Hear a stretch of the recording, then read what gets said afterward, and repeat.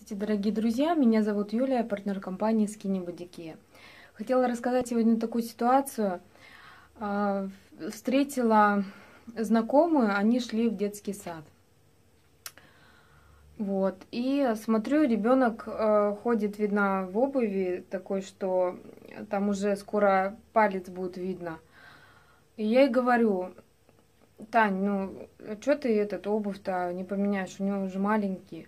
Она говорит, да, говорит, маленький, денег не, не хватает, кредиты. И ребенку сейчас 7 тысяч обувь. 7 тысяч это для нас дорого. Я говорю, Таня, это 7 тысяч, это сходить в магазин один раз, купить продукты, купить им обувь. Мне даже на продукты вот нету, вот в кредитах залезли на 3 года, теперь ребенку не могу обувь купить. И я говорю, что он 3 года будет ходить в этих? Ну да, что теперь делать? То есть они набрали кредитов, да, им пофигу на своих детей. Вот как так можно? Люди, вот чем вы думаете? Тут зарплата каждую неделю, я ей предлагаю, говорю, давай, ой, у меня денег нету и все. Да денег никогда не будет, мы ходим в магазин каждый день, да, мы выкидываем еще больше. А тут вы будете зарабатывать каждую неделю.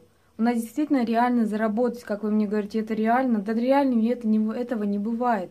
Я сама так жила. Я, я не знаю, если у меня маленький ребенок был, я бы пришла сюда в декрете. Если бы я не начала, то и мой ребенок бы так ходил. Я не хочу так. Чего вы издеваетесь вот над своими детьми?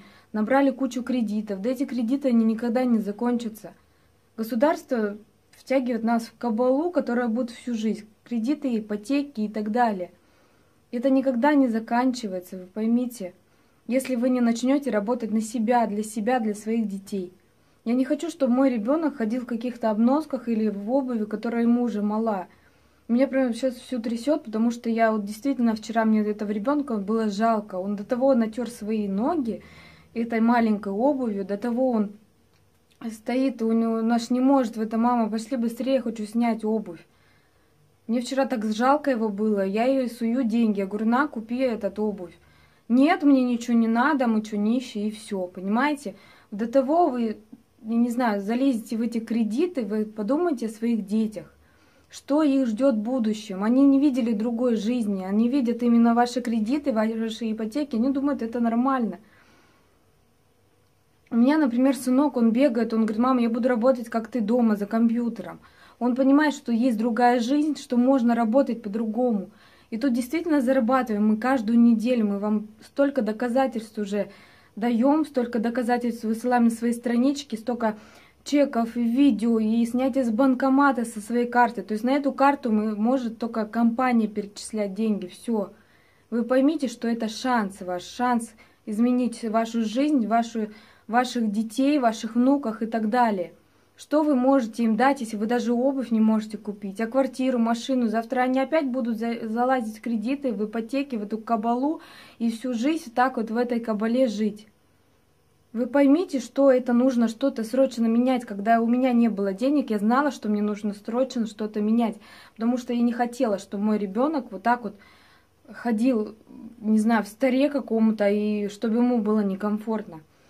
Создайте для своих детей будущее. Сделайте так, чтобы они всегда, всегда ходили в хорошей одежде, в обуви. Сейчас дети такие, они в садиках смеются над детьми, которые плохо одеты, у которых что-то нету.